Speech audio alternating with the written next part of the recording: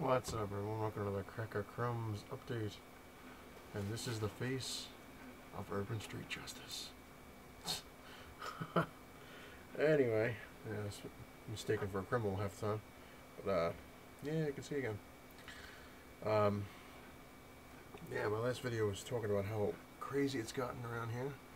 And uh, it's getting worse. It seems to be getting worse. They're claiming um, a lot of gas stations by me have signs up claiming they don't know when they're going to get gas, so people are flipping out. Uh, some gas stations are claiming they're getting gas on Tuesday, and you know it's a whole big thing. And a lot of uh, food stores, pretty much almost every food store by me, except for one, is still not open due to the fact they have no power. And um, they even have signs on on their on the store saying that due to the fact that their power is gone and their generators are pretty much shot, uh, all the food that they do have that was like uh, meat related, uh, frozen stuff is just done. They, they don't have it. They had to toss it all out. Um, and the one store by me that actually does have somewhat power, um, they're pretty much out of everything. And people are going crazy around here. Um, a friend of mine was actually attacked uh, walking to a gas station because the guy wanted her gas can that she was walking to the gas station with. Uh, robbed her of her gas can. Uh, it's nuts. Uh, people are getting, you know, like I said, some some guy got nailed in the kneecap uh, over a loaf of bread. It, it's just it's just amazing how quickly things can can go from bad to worse. Number one, but how quickly people, uh, you know, turn vicious over like the, you know, it's not like they're saying that we're going to be out of food and out of you know gas forever it's people can't wait a week. Really, you're going to resort to, to violence over just trying to relax and calm it down and saying, all right, let me figure this out, rather than go shoot somebody and steal their car, uh, the gas, siphon their gas from their car. I mean, I was using this thing. Granted, it's an air rifle. It shoots metal BBs and, and these metal, uh, they're not just BBs, they're, um, they look like little arrows kind of thing. They're like shrapnel looking things. They're crazy looking and those those can kill you. You know, I mean, the metal people can kill you too, but the other stuff I have can really give you a bad day. And uh, like I said, I was sitting on my porch all day yesterday, well, all night actually, with this thing, and it's got a I fixed the uh, the scope where it's pretty balls on accurate there, and uh, shot a guy right in his balls, and he dropped pretty fast. And uh, I must used this like I went through about 60 BBs yesterday, just nailing people that were freaking roaming around the street doing stupid shit and trying to break into people's houses and all this stuff. Crazy, crazy, crazy times. Um, I'm going to do somewhat of a comic review, uh, but first I want to uh, just say uh, I hope uh, uh, Coast and Bromstar, said it right finally, I hope you're feeling you know better, and I know you haven't been feeling well. And um, Legendary Collectible, I hope, I hope you're doing alright too. Um, Hippies Collectibles, uh, you know, my prayers and everything go out to your friend Katie. And uh, Mongo Stomp Tom 07, I'm really sorry to hear about your friend, man. It, it's it's tough. Uh, life is uh is kind of crazy lately. Uh, alrighty. Um, moving on, moving on, doing a quick review. Uh, I did just watch the new Walking Dead, which was friggin' awesome. Uh, I really liked it. I thought it was really cool. And that was uh, joking with my friend. we were watching. He's like, and I was like, "Where's Carl? Oh, he's he's out shooting his mother. He'll be back soon." Um, hopefully that didn't ruin anything for anybody. But uh, yeah, my my friend, he, you know, we kind of got the same sense of humor, and he was on Facebook, and he was saying that it's amazing, like around uh, Long Island. Uh, how people have gotten crazy over gas. He's like, it's it's like Mad Max, and I was like, welcome to the Thunderdome, bitch. but uh, anyway, let me do a quick quick review here. I got a chance to read a lot of comics uh, lately. Uh, let's do Nightwing number 13. The first appearance of Lady Shiva in the New 52. Um, it was it was alright. I, I wasn't too thrilled by it. It it's kind of cool how uh, Nightwing's trying to open up a circus now in honor of the circus that he used to work for. But um, it wasn't all that interesting other than that. And the funny thing is, this is one I don't quite understand, which, you know, maybe uh, I missed something, which I probably did. But, um, in the old continuity of, you know, DC, Barbara Gordon was shot by the Joker and paralyzed, and, um, uh, when you read the New Fifty Two, they make it look like that never happened. Where you know she was never paralyzed. You know she was never shot by the Joker, and uh, like if you read number zero, it shows when she was you know becoming Batgirl. If I read issue number one, same kind of thing. Like it had nothing to do with really the Joker, but um, unless I unless it did, I don't, I don't think it did. I don't really remember. I'll have to reread it then if I'm wrong. But in this thing, she shows up and she's talking about how the Joker shot her and how she overcame her paralysis and all this stuff. So I'm sitting there and I'm like, all right, if they're trying to do the New 52 is supposed to be from scratch, now all of a sudden she is shot by the Joker when originally she wasn't. So I, I don't, I don't know. Um, next one is Talon, number one. Um, this isn't isn't bad. I'm looking to see how, how it goes, because number zero I liked. I thought it was cool, but there is just uh, a lot, a lot, a lot, a lot of talking in this. Uh, so it's a, it's almost overkill. Uh, moving on to Red Lanterns number 13, which is the Rise of the Third Army tie-in. Um, eh, it was alright. Uh, it's just funny because a lot of these, the 13 books, um, they just start to get going, like a little bit, like you're kind of like, oh, you know, what's going to happen next? and then they cut the series, you know, well, cut the issue, and then in the back is like a like nine page thing of Superman, and I'm like, okay, that's cool, but you know, I, I didn't like this one all that much. I didn't think it was all that great. Um,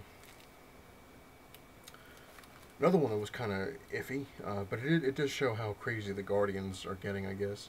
Green Lantern Corps, uh, Corp, Corpse, whatever you want to call it, uh, number thirteen where Guy Gardner uh, is promoted to I forget what that was some like Sentinel kind of thing, like a new uh, rank in the Green Lantern Corps, and uh, basically the Guardians set him up. You know, they, they free this this guy. I forget what the hell he was called. They free him, and you know, uh, they tell Gardner that he's going after uh, his family. So Gardner is supposed to take these delegate people to Oa to sign a peace treaty and he kind of bails and says, you know, I have to go save my family, and they basically throw him into a trap. So they're trying to wipe him out, I guess. Um, wasn't too bad. It wasn't too bad. It was it was better than the Red Lantern one. And um, this one's kind of interesting because Kyle Rayner I always thought was cool. Green Lanterns and New Guardians. Uh, basically, in this thing, uh, Star Sapphire here gets a hold of the Red Lantern Atrocitus, and because apparently Kyle Rayner can now absorb or use other rings besides the, the Green Lantern ring. And he turns into the Red Lantern, which is pretty crazy. So this one wasn't too bad. Um, this one was a pretty big disappointment. I didn't like this one at all. Red Hood and the Outlaws number 13 uh, takes place on uh, Star Starflyer, I think her name is, Home Planet or whatever it is. It was just boring as hell. I was just like, eh. Um, this one was kind of interesting in a way. I'm kind of looking to see what happens. The DC Universe presents Black Lightning and Blue Devil, which number 13, which is their first appearance in the New 52. It was interesting. It was, it was not really going to get too into it because there really wasn't much to it, but it was just interesting artwork and stuff. Um, another one that was quite interesting was Blue Beetle number 13. It's just kind of cool how they kind of delve into how the Blue Beetle came around. And they have a zombie. Zombies are everywhere. Um, this one kind of sucked too. Supergirl number 13 wasn't all that great. Cool cover, but just wasn't all that cool. And another one that kind of sucked, but which was weird as hell. Uh, Superboy number 13. Apparently he uh, comes up with Matrix powers. Uh, Matrix, Matrix powers. Like he, they all start shooting at him, and he just goes like this, and then all of a sudden all the bullets stop, and then he just kind of like I don't know what he does, but he just like gets into a rage or something, pulls his arms back and shoots this huge like dome of heat vision, I guess, everywhere and destroys everything. Um, but on that, I mean, it really wasn't that cool. I was kind of disappointed with a lot of the DC stuff. Um, I am trying to get uh, a comic book haul. Uh, I missed last week's, and uh, I was going to order this week's stuff uh, because a lot of the stores just don't have any of the stuff left. Um, Amok Time that I went to, I usually go to, they were out of everything. They're always going to be out of everything because apparently it's all like I said, it's all pre-orders now. Uh, Bailey's did have a few things, but the ones they had left were like ripped. So I was like, oh. So I don't know. Um, Midtown apparently has a, a, another shipment, especially when they shut down. I guess maybe they didn't sell everything. Because when I went on there originally, they were sold out of all the stuff from last week. But I went on there recently, and they still have the stuff from last week. Now they're claiming they have it in stock. Uh, they still don't have Batgirl Annual Number One, so that one I'm gonna have to track down, just like Catwoman eventually. But um, some of the other ones they have, and uh, the stuff from coming around, they they have the pre-orders on. Uh, but I don't know. I gotta say, on top of the fact of everything that's going around here, uh, we definitely need to. My fiance and I definitely have to watch our money because our banks still aren't working. Uh, a lot of the stores that are around here aren't taking any credit card because they don't have the power for it. Um, so it's insane. So as much as I want to order the comics, I'm kind of on edge where I'm like, oh, can't can't order them because if I order them and we need the money, then we're like, oh man. Um, so it's it's rough. It's rough. Granted, you order them, you know, we're using the credit card, but even still, uh, I don't know. We'll have to wait and see. So who knows if I'll have one of those? But I am gonna. I'm still working on my, my new and improved intro um, intro to the uh, to the show. Um, it's taken a long time because power around here it, it's weird. Like I'm still the only one on my entire actually the only one within like a four block radius that doesn't have any that has power over everyone else. Um, actually, my neighbor just finally got his generator up and working. He spent uh, nine hours on uh, at a gas station to get gas, waiting online with a gas can. Uh, so that's crazy. And uh, so the intro's taking a while because it's I'm, I'm trying to put the stuff together and then I'll lose power and I have to start all over again. Oh man. But anyway, uh, also Dynamic Comic Duo. That was an awesome video with your cat, uh, Gus Mustard. cool cat, cool cat. I actually used to have a cat um, named Rocky, uh, who thought he was human as well, and I actually taught him how to box because I figured with the name Rocky, he has to know how to do something like that. And uh, if I had a video camera back then, I definitely would have taped it. But he was uh, he was definitely a cool cat too. He he'd lean up on his uh, hind paws, and he was a fat cat, so his belly was always like bringing him back forward. But I actually taught him like he would hold hold his paws up, and he would he would jab, do a couple jabs, and then he would spin around and do another couple jabs. Then he would get tired because he was fat, and he he would lay down for like three hours. But um, very cool video. Uh, yes, and another thing that's kind of cool, I was normally I usually say, you know, see everyone later, or, you know, uh, thanks for watching, stuff like that. I actually came up with a, an interesting ending catchphrase, I guess.